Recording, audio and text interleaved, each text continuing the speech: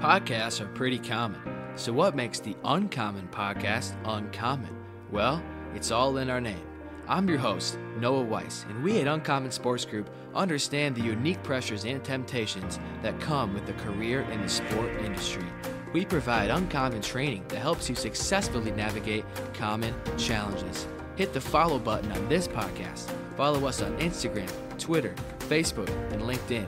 Check out our website and become uncommon.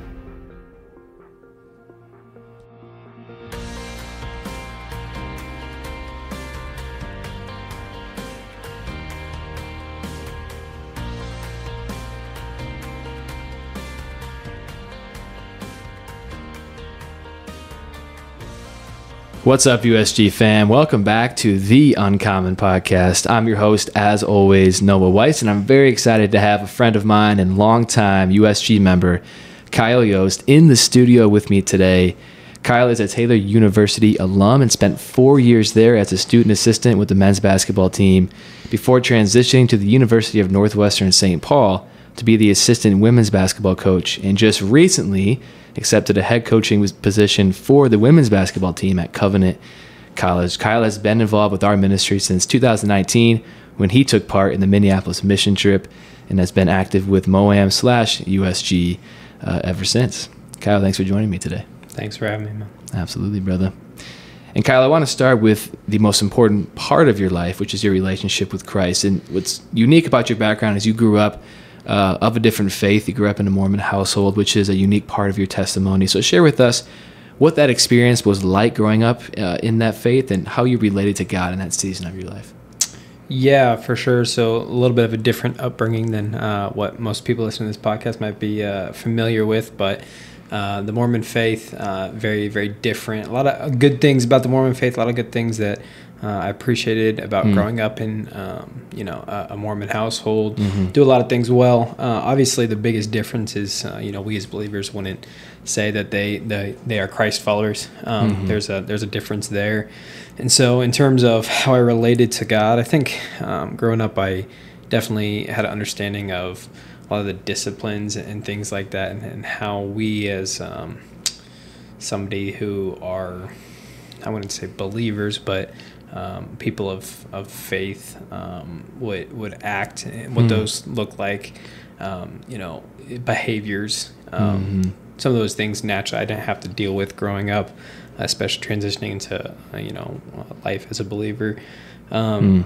But yeah, no, I wouldn't say I related to God in any way. Um, definitely heard about God. Mm. Definitely, uh, there were times that you know there was teaching out of the Bible, but uh, the Mormon Church obviously speaks from a um, the Book of Mormon, and so mm-hmm. uh, that's a that's a different testament. Uh, I, I, don't believe it to be a testament of, of Jesus or, or his um, teachings of his time on on mm-hmm. the earth, and so. Um, but yeah, there were some good things, good things about family and community yeah. and disciplines, things like that. Things that I appreciate about growing up in uh, the Mormon Church. But yeah, it, just a different upbringing for sure. Absolutely, and you know, Kyle, I do a lot of these testimony based podcast and even just hearing a lot of testimonies in my life. I think so many people don't have this testimony, can't relate to having a different faith. Either you are a Christian growing up or you are around Christianity. And so, you know, I think for you to have that different upbringing is unique and awesome. And I think it's cool that the Lord used that um, in, in a unique way. And speaking of that, Kyle, I think what people want to know is what led you away from those beliefs you grew up with and what challenges did you face in that season when you did start to walk away from that? Right, for sure. So uh, obviously, you know, growing up, you have your teenage years, very little uh, rebellious, and you start to think for right. yourself. Um, you know, theologically, uh, theologically, you can get into it, um, but I, I, personally hold the belief that the Spirit comes into you mm. um, at times, often that we don't recognize. Yeah. Um, so a lot of times, uh, theologians will talk about non-believers being able to pinpoint that. Uh, I can't pinpoint the exact, uh, you know, time and place it happens, but right. definitely my freshman year of high school is when I believe that that happened. Um, you know, really that was the time where I felt, you know, a change, um, a little mm. bit of discomfort and, and, things like that, and what was happening in uh, the Mormon Church. You know, they they would say that they're they're followers of Christ, and uh, my big thing was, if you call yourself a follower of Christ, why are we not teaching from the Word of God? Mm And so, you know, questions of those things between, uh, you know, myself, church leadership, things like Yeah. that, friends, mentors, uh, I never got a good answer uh, for that. And so, um, some other stuff in life kind of kind of pushing me that way too, and asking questions to other people outside of the, the Mormon faith, and um, eventually, you know, Christ led me uh, kind of away from the Mormon Church, obviously, and um, put some really good people in my life um, during that time to that really took time to pour into me and answer questions that I had, ask questions um, Yeah. to make me think um, about some things critically, and Yeah. um, you know, guys like Scott and um, people like that really pushing me and helping me to Mm-hmm. grow and ask the right questions. Um, but yeah, definitely um, some difficulty in trying to Mm-hmm. figure out what you have always thought to be true of a Christian Yeah. theologically and what is right and what is wrong. Uh, I think that's a process that's still happening now as we continue to learn who God God is and Mm-hmm. Totally. uh, sanctifying ourselves and, and you know becoming more like Him and understanding who He is. That that's a lifelong process, but um, you know there are some theological things that are pretty deep, Mm-hmm. um, especially those first three or four years that you know you have to unlearn uh, when you come Yeah. from a, a religion like that. And it's just very similar in the way it's presented to Christianity, but Mm-hmm. uh, a lot of theological differences that you just need time to work through and people to speak truth and, and going back to the word again, um, going to what the what the word says and who he is and trying to learn through that and yeah Mhm. process. But that was some of the difficulties that I went through. Um, Yeah. continue to go through now. So Totally. Yeah, I know. I think the that's the interesting part of, of you coming from a different belief system is that unlearning and relearning. And you know, I think for every believer, like I think everyone listening could relate that there is a theological um, uh, uphill climb that we all take on this journey. There's there's really no point in your journey with the Lord where you know everything, right? Even the uh, heavyweights of Christian theology, uh, theology don't have a perfect understanding of everything, and there's disagreements. That's why we have so many denominations, and there's these little things that we all uh, can't really agree on. So I think um, we're all in that process for sure. So I appreciate you sharing that. I think a lot of our listeners could relate to that point of your journey of uh, we're learning constantly, and, and it doesn't matter where you're at in your faith. That's a that's a part of it for sure. And you know, Kyle, I think the question that I, I wrote down is similar to the, the previous one, but really, what was that convincing factor, thing that led you to the Christian faith when you finally de- uh, decided to surrender to Christ? Right. Yeah. No. So um, I think those kind of that first three or four years of of when I was really going uh, deep and trying to figure out who Christ was, I think a lot of the things I was focusing on was, you know, my disciplines. What am I supposed to do? You know, my active role in my salvation, right? And I think the big thing that's missing in the the LDS Church and the Mormon faith is um, that the the essential component of Christ and, and his, you know, crucifixion and, and his death so that we can, you know, live and, and be with him again in heaven Yeah. one day. And um, I, I think they would be able to vocalize that. Right. Um, but in how they live, there is a lot of pressure and importance put on their actions. Um, yeah. which yes as, as believers our works matter right Mhm. and as we doubt. continue to, to come closer to christ our actions change and we become more like him hopefully as he his, his spirit fills us up and um, as we're filling ourselves up in his word and things like that and prayer and worship and things like that but um, you know those first three or four years is i was focusing on that a lot focusing on what i was doing rather than uh, focusing on you know who he is and trying to know him better and, and to be close in relationship with him. I think it's something that even today like i still struggle with at times of Yeah. yes my actions matter but it, it's the heart of it. It's like how do i truly come closer to christ and truly know who he is and who he's calling me to be and Yeah. um, I think you know we'll get into this a little bit, but um, I, I think that the story of the last year for me has really shown me um, how little control I have Yeah. of life and, and how important his guidance and his promptings and his leadership practically in the day to day yeah. um, is and just how inadequate we are without him. Yeah. Um, Amen. And so that those things for the first three or four years were, were the things that really challenged me um, and still do. Um, Yeah. you know, in my walk with Christ, Without a doubt. you know. Yeah, Kyle, I think it's you know, for any Christian, that, that last point you made it stood out to me of trying to understand the balance between the works that we do and the free gift of grace. It, it's a really hard dichotomy because you understand that your works don't achieve salvation, doesn't achieve a closer relationship with the Lord, right? But there is an element of, you know, James chapter 2, right? Faith is evidenced by works. Um, something I've, I've struggled with in my journey and tried to figure out. And I know I say I think we can all relate to that as believers of trying to figure out, you know, what does that mean? How do I fit that in and fit those pieces in? And I think too, you know, sport industry as a whole and working in athletics is you get out what you put in mentality, right? And so I think many people that work in this industry know that my success on the court, my success on the field, my success as uh, you know an AD or as an administrator is going to allow me to climb the ladder.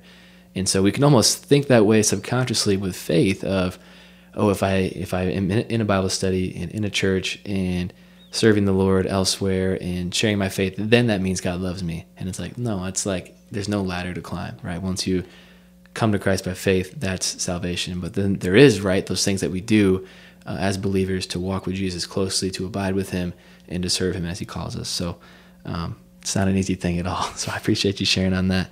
And um, I think we can relate to that as believers as well in this industry for sure. And Kyle, obviously, I mentioned in the intro, basketball has played a really pivotal role uh, in your life journey. And I guess I'm just curious, what drove you to get involved with basketball in your undergraduate years? And how did those experiences push you to pursue it as a career? Right, for sure. Basketball has obviously played a huge part of my life. Um, it's one of my biggest passions in life. You know, yeah. Um, the Lord and, and basketball are two things that you know I can talk about. Uh, you know, anytime, twenty four seven. So, um, yeah, I grew up in Indiana. Um, I know you knew that it's different in Indiana. Different. Um, it's just it's constant. You grow up with it. You love it. You do it. Um, and so grew up. Had a really good high school um, experience basketball wise. They really lit a fire under me. Um, had some really good coaches. Um, I don't know um, where I would have been if I yeah. hadn't been uh, in the places I was. I don't know what I would have gotten into mm. or whatever, but uh, had really good high school experiences, um, basketball wise. Had some success and state championship and just a lot of wins and things like that. And obviously, mm. when you have success, you want to continue to to strive for that. Without a doubt. Um, so when I got into undergrad, um, I, I, knew at a young age, probably about 13 or 14, I wanted to coach. Mm. Uh, I knew I was never anywhere near close enough uh, of being good enough to play. And so mm-hmm. next best thing is coaching. And so yeah. um, I think watching the leaders and seeing how they structured teams important to young people and, and the impact they had on my life and the other people around me's life. And I wanted to do that. I always wanted to lead. Mm. I always felt called to lead and, and, didn't know what that looked like as a, as a young person. And so yeah. Got to uh, eventually Taylor, um, got involved with basketball and uh, really got to give kudos to, to my coach at Taylor, Josh Andrews. He uh, really took me under his wing, uh, discipled me really well. He mm. understood that I had a desire to coach, and yeah. uh, he gave me opportunities to to grow and learn, and um, again, just mentored me really well. Uh, helped me to tie basketball back in with faith and just mm. keeping it in perspective. He always talks about uh, it's a stupid little orange basketball we're trying to put through a metal rim. At the end of the day, it doesn't matter. So. Yeah. Um, using it to glorify God, using it to build people up and, and develop kingdom leaders to, to go out and serve others for, for Christ after graduation. So mm, that's awesome, man. Yeah. It's awesome. Yeah, no, I think it's perspective in sports is huge. And, and I think that's what's cool about your testimony with Taylor is it was more than basketball, right? And you learn how to be a coach and a mentor and a leader. And, you know, for me, obviously, you, you know, my background is I was a student manager and I learned a lot, but it was at a school where, you know, you're mopping the floor or you're passing out water and you're not really getting coaching experience. You're essentially a glorified water boy in a lot of instances. And I think what you had is legitimate coaching experience, legitimate like assistant coaching experience, which is um, pivotal, right? And I think it speaks loudly of to where you are now, the benefit of that. So I think it's cool to hear that. And obviously Taylor is an awesome um, school and organization and um, a lot of our USG folks are Taylor grads or currently Taylor students. So I think there's a, a, lot of love for that school here for sure. For sure. Shout out Taylor. Shout out Taylor. And you know, Kyle, and uh, something that I think is probably challenging for you to talk about is is the season of difficulty you've faced uh, this past year in 2022. So I'd love for you to talk about the challenges you faced in that season and how you were able to overcome those. Yeah, for sure. So the last 14 months of my life have uh, been a little bit of a whirlwind. Um, a lot of people have reached out and asked, you know, what's going on? Like, what's going on in your life? It's kind of been crazy. Um, yeah, so uh, kind of going back to, to last May, uh, May of 22, I was in a, a, relationship. I was engaged to a girl. Uh, I was graduating from Taylor. Uh, had accepted a job out in the Pacific Northwest. Was accepted to a grad school out there. I was kind of planning life, you know, planning a wedding and, and getting ready for the next stage. Um, and uh, you know, later I, I, would come to find out that's not what the Lord had planned for me. Mm-hmm. Um, and kind of reflecting now, hindsight, uh, a lot of those plans were plans that I had made for myself. And so, mm. um, anybody that knows me knows I want marriage. That's a, it's a big desire of my heart. And yeah. so, um, really, I think in an untimely manner, forced that in a relationship. Um, mm-hmm. Probably wasn't ready for that.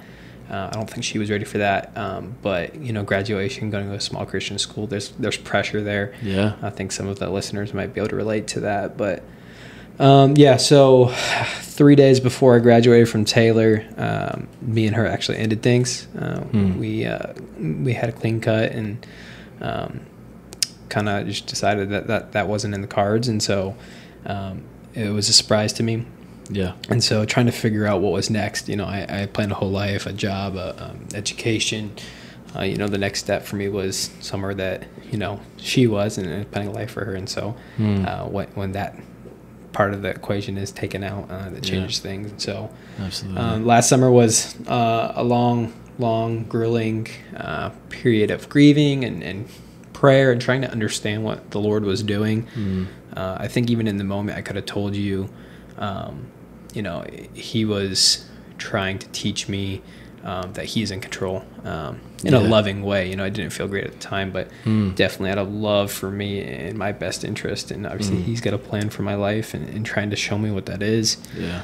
Uh, and I didn't know what that was in that in that experience in that, that time. But mm. uh, yeah, kind of a, a crazy summer. Um, yeah, jobs wise, we can get into that if you want. Um, yeah. Ended up uh, up here in Minnesota, just trying to really seek out community, yeah. find people that, that would really um, pour into me and be there for me and help me through a, a challenging time of grief and, uh, you know, processing through the loss of a, a relationship um, and kind of that's a hard thing, right? Mm, Especially when yeah. you're you're planning for marriage with somebody. Yeah, um, a good thing now. Re- reflecting on it, um, mm. definitely no hard feelings or anything like that. But um, you know, it's a part of my story, and he used that to kind of put me in a place, you know, that I wouldn't have gone any other way. And yeah. I definitely wouldn't have ended up at Northwestern like I did this past year, and mm. uh, just the way he's worked over the past year in my life, you know, reflecting now, um, in July of 23 of the people and the relationships and the experiences I've had while I've been here. And hmm. um, it was definitely his plan, um, but definitely a time of just teaching me like I'm not in control. Like I, yeah. I there's nothing we can do um, to yeah. to try to to change what he has planned for us. And I think also during that time, something I, I spent a lot of time with my girls this year talking about, um, just, just really trying to be vulnerable with them is hey, like God can take our anger a little bit. Like yeah. he's strong enough to hold that. Like I was angry with God for sure.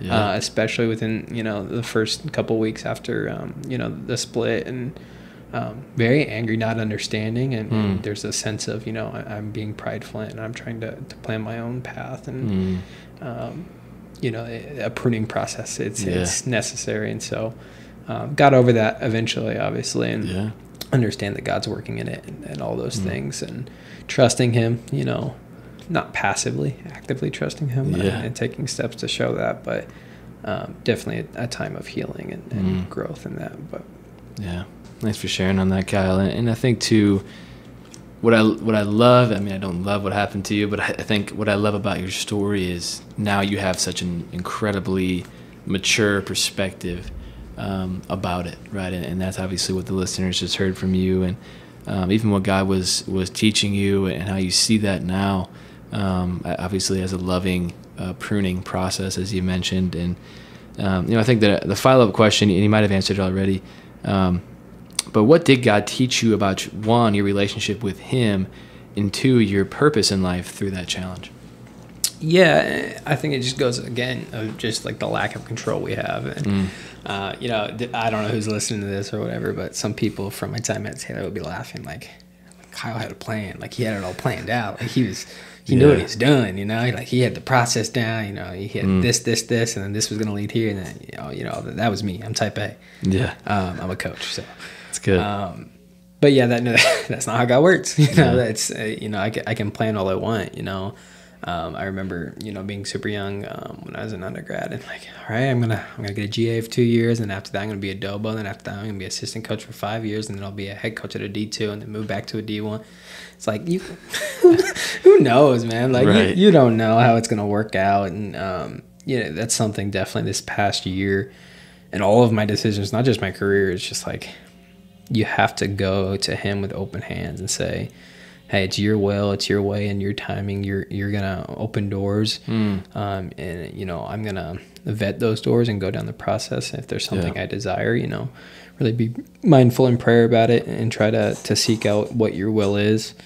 Um, but yeah, Hmm. it, just that that surrendering that I think is a lifetime journey yeah, I us continuing to surrender to him there's people out there that you know they they've i won't say mastered it but they're really good at it. And just Mm. naturally just being able to um, very practically in the moment just surrender. And yeah, it's something still that i, I struggle with. And hmm but that process of really uh, surrendering to his will and, and understanding we don't know what that looks like right now.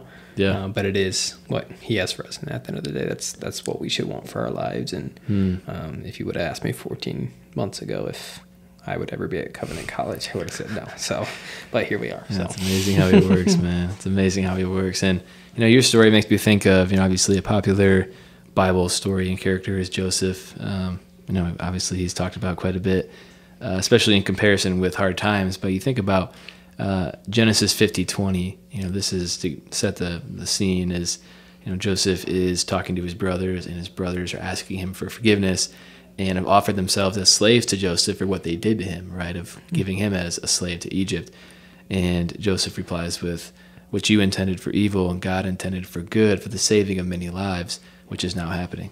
Uh, it's Genesis 50 20.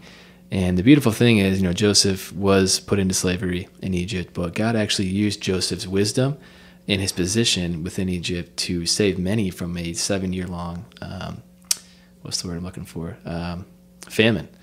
Um, and you think about just the trial, right? The the scene that is is there of his brothers betraying him. It's it's so evil, and Joseph could have held a lot of anger in that, but he, he saw the the perspective of like, hey, like God used it, and a lot of people were saved because of what God did in my suffering. So I think this is a, relatable story, right? A, a relatable story of your um, struggles, your season of challenge um, being played out in Scripture. So I think it's very, very similar, very relatable. for sure. And Kyle, back on the basketball front of things, you know, you spent a season working with the University of Northwestern St. Paul as a women's basketball assistant coach. And with Taylor, you were on the men's side. So we'd love for you to share what was that transition like going from working with men um, and then now working and coaching with women? Yeah, no, uh, obviously very big change. Same sport, different sport. Totally. Um, totally. uh, obviously enjoyed, you know, being on the men's side. Um, obviously, I, I am a man, so uh, this is all I knew growing up, and, Right. and that's great. It's Yeah. high level of competition, athleticism, shooting, skill, all those things. That's great. Um, you know, a lot of people when when they're transitioning in professionally in basketball, there, there's always, I think, an opportunity.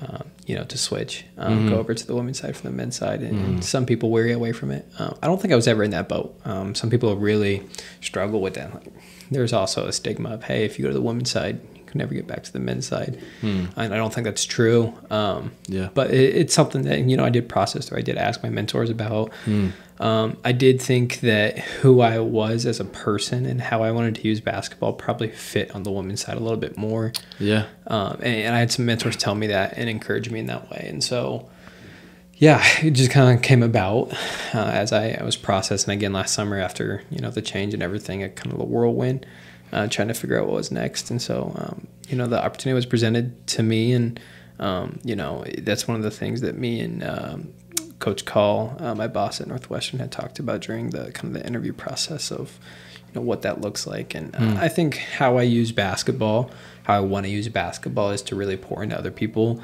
uh, and disciple really well. Yeah. Um, and, and just help prepare them to go into the world and have an impact. And so.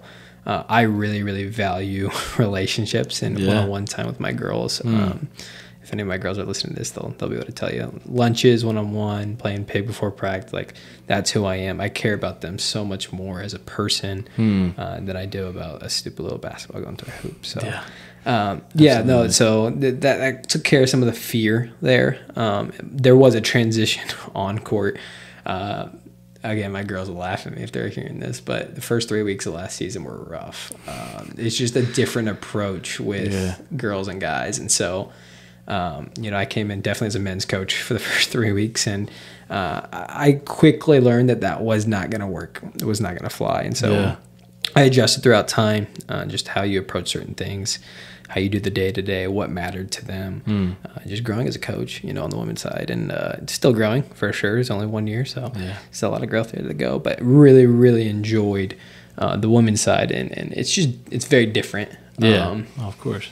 Better in a lot of ways, in my opinion. Yeah. Uh, you know, I, I would say probably not as fast, not as skilled, not as physical, and that's okay with me. Um, I, I, again, Coach Andrews at, at Taylor, he always talks about when you're making decisions or when you've made a decision, you're trying to evaluate um, those things, uh, really trying to, you know, listen to the spirit. And when he, one of the things he always talks about is uh, kind of that story of uh, Jesus and Mary's womb and the jump and the excitement that happens there. So Yeah. he always tells us, um, you know, you're you're waiting to, to feel the baby jump.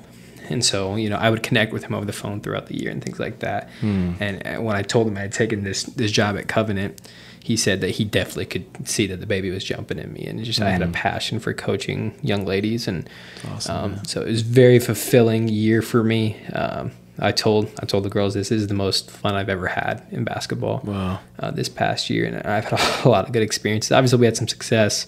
Uh, you know, second NCAA tournament in uh, uh, program history, and, and won the conference, things like that. That's great, but um, just the way they loved each other and really cared about each other, and uh, coming together to to work towards something bigger than ourselves, and it wasn't without you know mistakes and things Yeah. like that. We definitely grew out throughout the year, but yeah, just super fulfilling year. Really, really enjoyed it. Love those girls.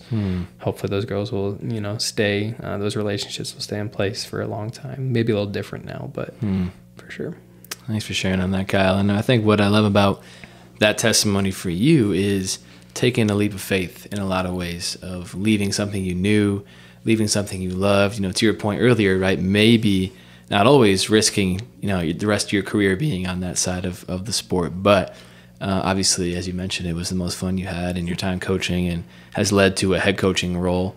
Um, and so I think just to encourage the listeners, right? Sometimes taking that chance on something you're wary about is actually a great move. So I think it's a, a good learning point for the listeners as well.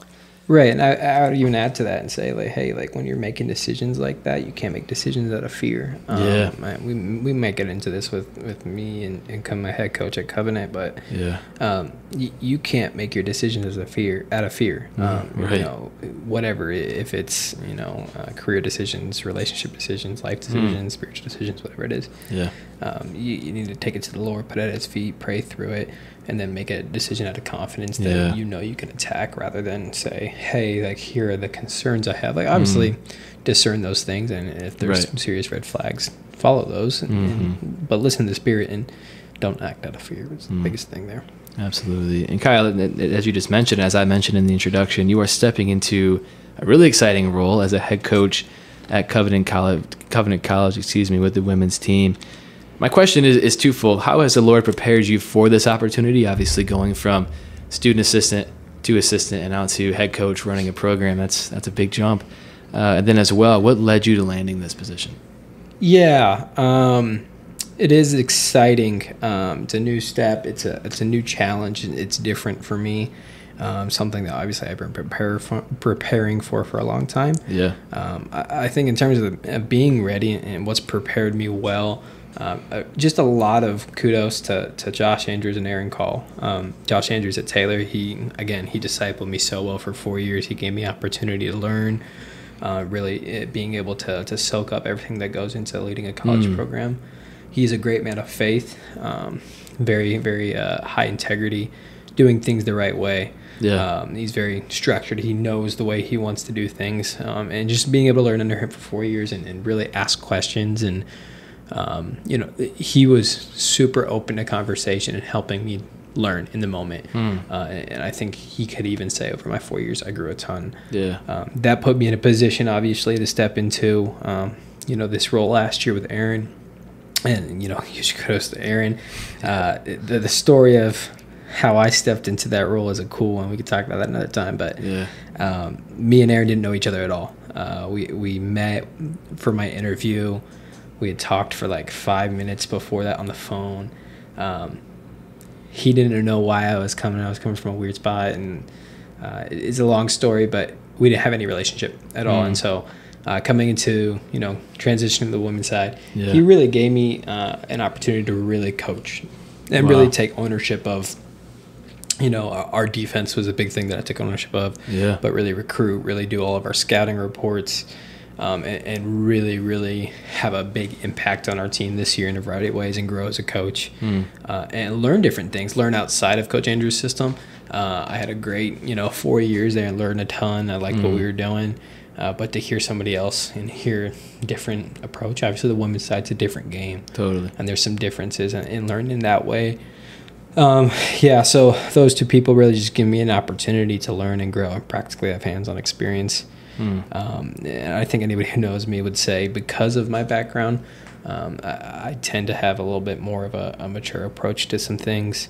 Um, you know, with the beard and everything, people always say there's no way you're under 30. Uh, I'm 25, so I'm definitely under 30. So, Yeah. um, but yeah, I've had a chance to experience some cool things. It, it doesn't Mm. feel like I've only been an assistant for one year. It feels like it's been five or six years. Yeah. Um, I was actually, uh, you know, tying up close ends and um, finishing up here well with Aaron yesterday, and uh, we were saying goodbye and everything's the last chance I get to see him before I leave, and he even said to me in, in our meetings, like, "It doesn't feel like you've been here for one year. It feels like a lot more than that." So Mm. uh, we had a great relationship, and, and we worked really well together and grew and.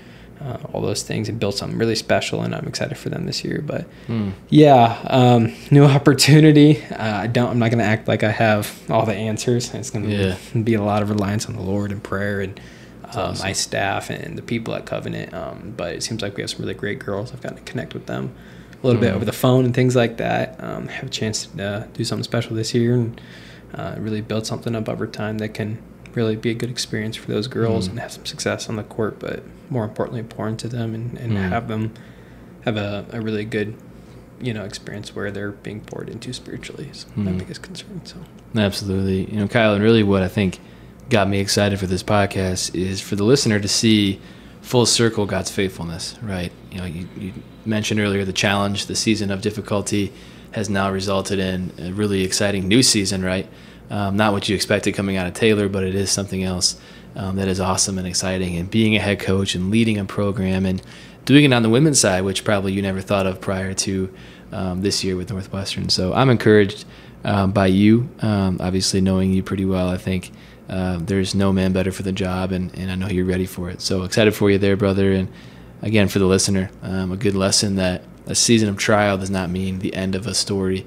Um, in fact, it could mean that a whole new story is being written, which is really cool. So, And I, I would even add to that and say, you know, i- you look at it from you know an outside perspective, somebody that, that isn't in my shoes right now, and say, Yeah, yeah.